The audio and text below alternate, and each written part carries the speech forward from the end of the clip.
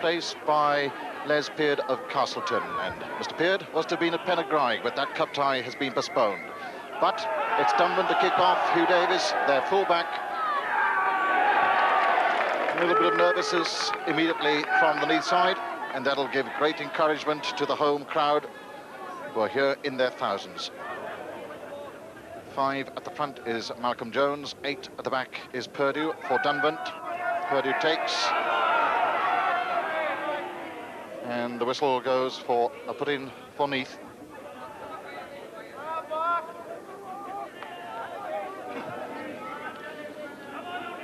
Bridges with a feed just outside the Neath 22. Control from Phillips. He's well held. Dunvant quite awake to that move from the back row. And going over the top. And so a penalty to Neath. Furious opening exchanges. And he skipper, Paul Thorburn, you'll notice the strapping on his upper thighs. There's the strapping. He knows that he has to play in these vital games over the Christmas period in order to stand any chance of getting into the international squad.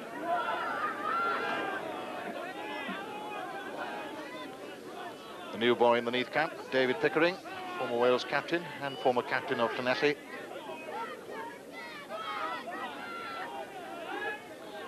Shorten line out again.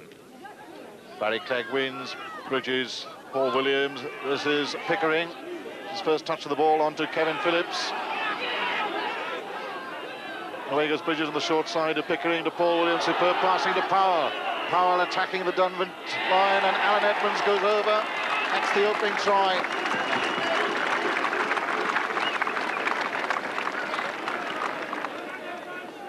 Here's the try again, and the Dunvant crowd might well complain that there's no justice done. The first real possession beneath, excellent passing, flip passing, and then Steve Powell drawing the cover on the outside. Edmonds intelligently had gone inside, and there was nobody there to mark him.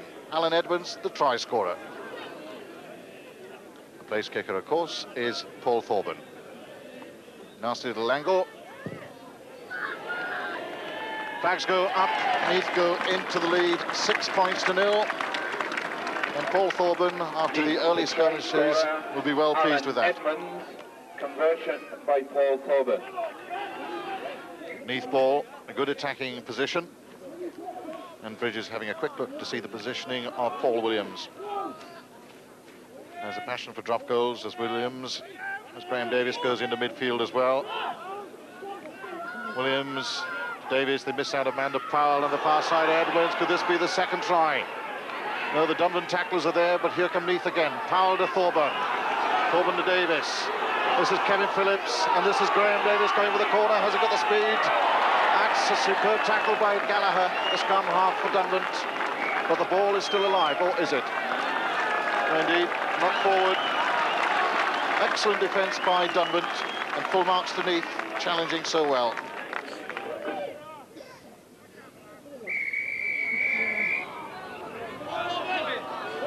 Down on the scrum, so the penalty goes Neath's way. And that may well be indicative of the way this game is going to go. The Dunvant scrum is certainly under pressure, and they may have to concede some points. Six points to nil the score at the moment to Neath, and another opportunity for Paul Thorburn to add three points. This game a bit of a test for Paul Thorburn, very much a test of the groin injury. He seems to be okay, slotted that one over very carefully. Neath in the lead, nine points to nil. By Paul Thorburn. 10 metres outside the Neath 22 metre line. Dunvant really has struggled to get up this far. But away goes Bridges. He's threatened that so often. David Pickering. It's a bit of a wild one inside. They allowed to go on. Nobody offside. The ball was played by Neath. That's Kevin Phillips. He loves to do that, to rock the ball away. Somehow, Dunvant have it. The kick is by the centre, Andrew Beer. Danger point. Oh, Dunvant really doing well. Richard Sullivan following up fast indeed after the kick by Andrew Beer.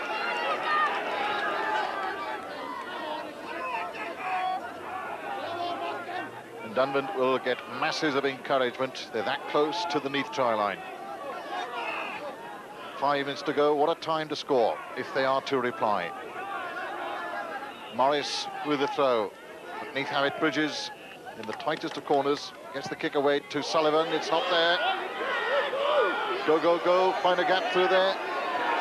Richard Sullivan trying to worm his way towards the Neath try line. Is a tremendous drive.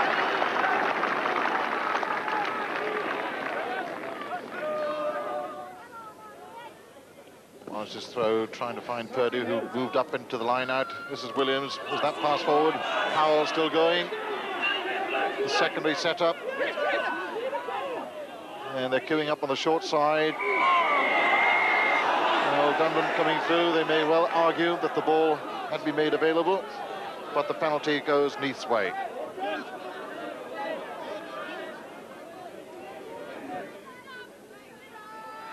Thorburns kick has he got there? Yes, indeed. Just inside the right-hand post.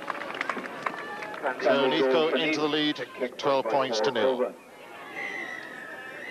And that indeed is the half-time whistle from referee Les Peard. Neath 12 points to nil in the lead, and Neath will have the slope and the wind in this second half. But can Dunvant come back? We'll soon find out as we rejoin the match now, a little way into the second half.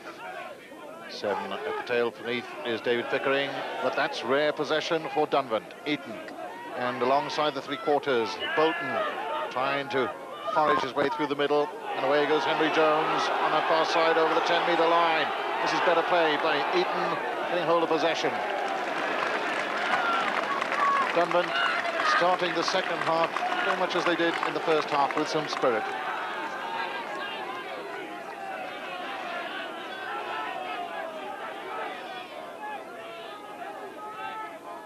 Throw Phillips, that's the second piece of possession, but it's difficult ball for Gallagher.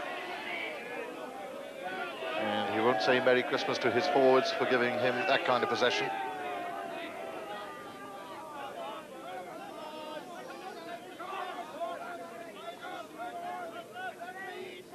That's the 10-metre line inside the Neath half. Bridges. Long pass out to Williams. Williams held by the Dunvant cover. The back row, the Dunvant back row, really doing well, shepherding Williams back inside.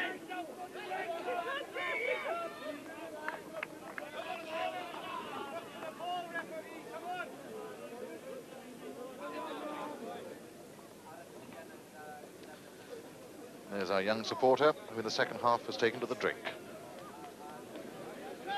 Now we have a better view of that battle between Waygood and Jeremy Pugh.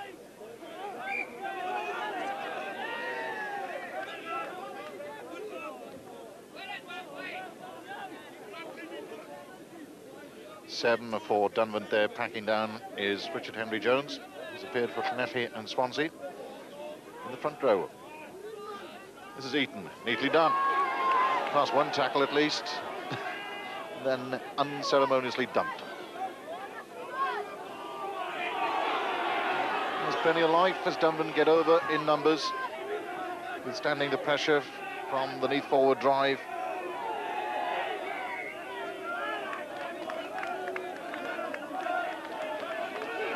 Background, the temporary stand. Everything around this ground uh, this afternoon is a little bit temporary. The lorries, the scaffolding. A great credit to the local committee for putting in so much work to stage this game. Gallagher, a quick look to, uh, to find Eaton. And they miss out a man. Andrew Beer's kick finds Graham Davis got Thorburn outside. Chooses to ignore the captain, but it's a good kick. It's a testing kick. Eaton is back there for Dunvant. Just about got hold of it in time.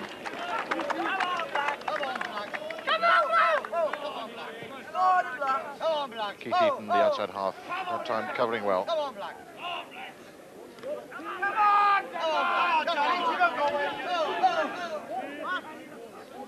Phillips to throw again. Still nervous times for Dunvant. Clegg. Bridges. Powell picks up, thinks about a drop goal, and then the switch of attack to Williams. Thorburn. Thorburn still going. Put in touch.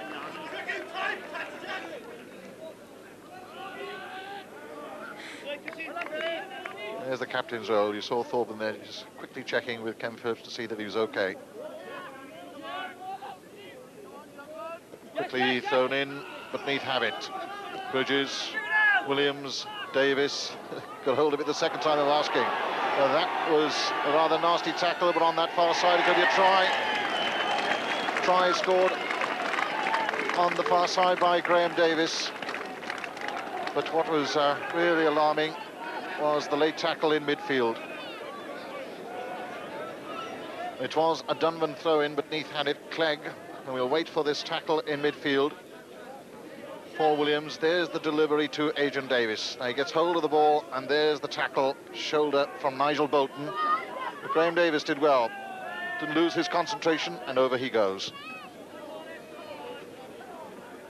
The Dunvant in their centenary have already beaten Swansea, lost rather heavily to Llanelli. This is a, a, different kind of game. This is cup ties. Bridges, Paul Williams, Roland Phillips, the extra man laying off, looking for support, and it's beautifully taken by the man who's supposed to be injured, Adrian Davis, put away come Dunvant. Purdue trying to get hold of that ball. But again, it's Neath ball. Pugh setting it up. Kevin Phillips. Rather tidily out to Powell on the far side to Paul Thorburn up towards the 22-metre line, Graham Davis. And that tackle on that far side was a try-saving tackle indeed.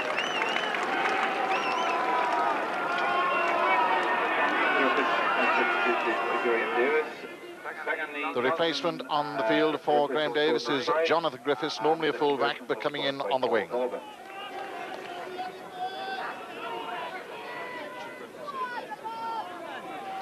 Neath have it. Bridges, Paul Williams, Powell. That's a typical Neath move on the short side.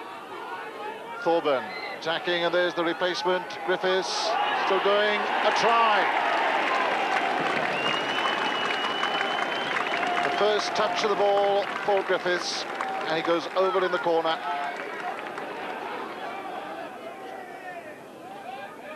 So typically set up by Neath, the second phase possession, running it on the short side, and then that superb passing, and the tackle's now beginning to become a little weak by Dunvant, and the try scored by Neath.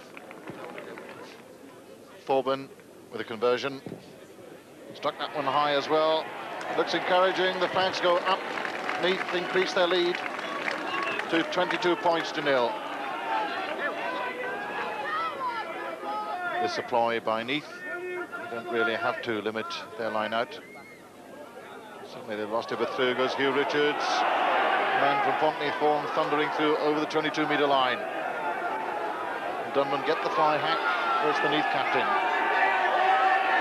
Uh, neatly done. On the Davis, and there's acres of space. To David Pickering. Pickering surely should have passed that time, or has he got there? No. The penalty has been awarded to Dunvant. Pickering tackled and playing the ball after the tackle.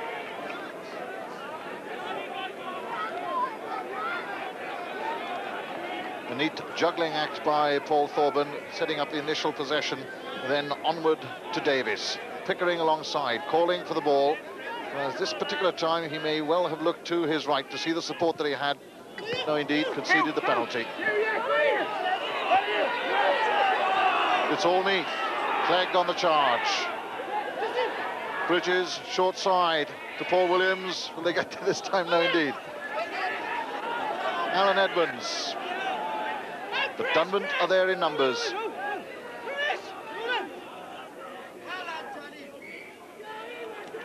Oh, they're doing so well, Dunvant. They may well be 22 points nil down. But the tackles are still going in. But I fear in the last quarter, those tackles may become a little bit weaker.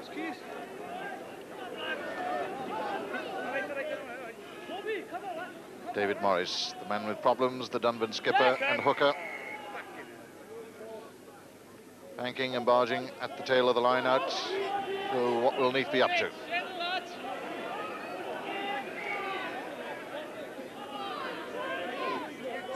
At times like this, just keep your eye on the ball. The explanation being given uh, to the Dunvan skipper, Morris, as to what the infringement was. It was at the tail of the line out. Bridges is the pivot man onto Roland Phillips. Hasn't got there with the first surge. Has. Yes, indeed. Wormed his way through. Well, at least Roland Phillips took the ball into the melee. See who the try scorer is. It is the man, Roland Phillips, the policeman from St David's in Pembrokeshire. Well, in fairness to Dunvant, they must be tired men now. Roland Phillips, a straight forward surge, and then a with a little help from his colleagues, just about making it over the line. Thorburns conversion to come on the 22-metre line. Well, he's striking them well. That's another two points for Neath and their captain, Paul Thorburn.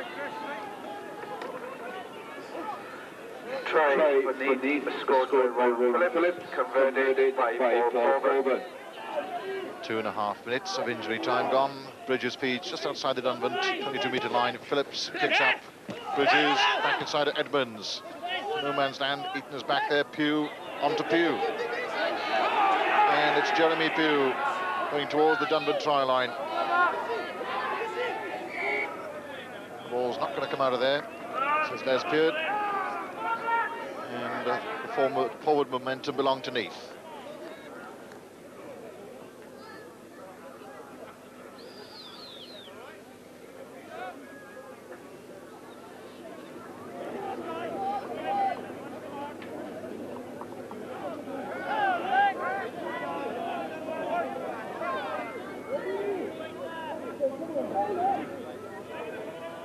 And Roland Phillips certainly looking for his second score. Phillips is going to go on his own again. He finds support. David Joseph. They back Bridges. Are they going to get there eventually? Total frustration. Well, full credit for Dunvant. Right in the corner there. Neath having all the possession, but they've kept them out. And that indeed is the final whistle from referee Les Peard. Neath safely through by the convincing margin of 28 points to nil. Four tries scored, 12 points coming from the boot of Paul Thorburn. But full credit to Dunvant. They stuck at their task, and had they scored in the first five minutes, well, they might have put in an even better performance.